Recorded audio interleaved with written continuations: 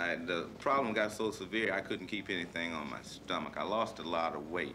I also developed a rash after I came back from Vietnam that I didn't have before I went. So when I came back from Vietnam and this rash wouldn't go away, I went over to my mother's house and I asked her to take a look at the rash. Uh, that it was, uh, I was told it was jungle rot.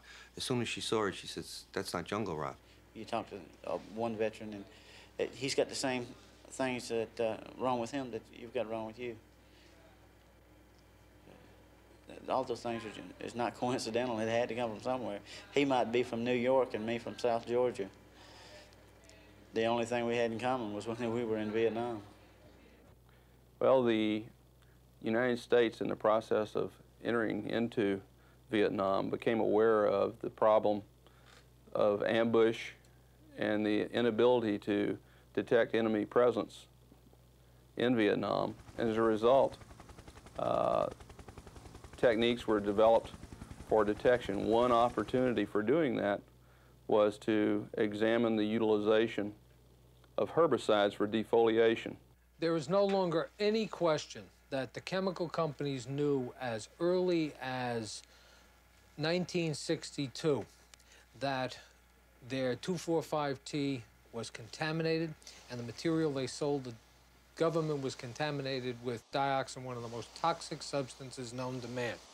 Uh, in terms of Dow's knowledge, uh, we identified and determined analytical methods for this in 1964, although we were aware of the existence of some impurity that could cause acnegenic problems when we started producing in 1950. I remember very clearly when I got a call from the White House saying, we don't think it's the 245T itself. We've got some new information. Dow tells us that there's something in it called dioxin and that that may be the culprit. By culprit, I mean responsible in the bionetics tests that were done at the time, which showed that it caused birth defects and stillbirths and abortions in rats and mice. The uh, doctor said she had like uh, 12 spleens, as many as 12, but they were like seed warts. Well, the doctor told us we were going through such trauma with that to get for the wife to get pregnant again as soon as possible. So we did. Three months later, she was pregnant. When this one was born, she was born with a heart condition. But the first one from before I went to Vietnam, she was perfectly normal. So now when I realized that uh, Kerry's arm didn't have to be malformed, when I realized that uh, her intestines could have been whole, when I realized that she didn't have to go through open heart surgery, now I had to look at the 22 birth defects in my child and realize that my own government could have done this to me. Now I realize that uh, corporate America, that for the love of the almighty dollar, had uh, sacrificed my child.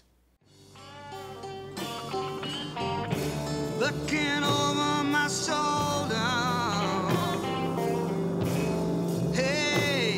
behind every tree, I got bad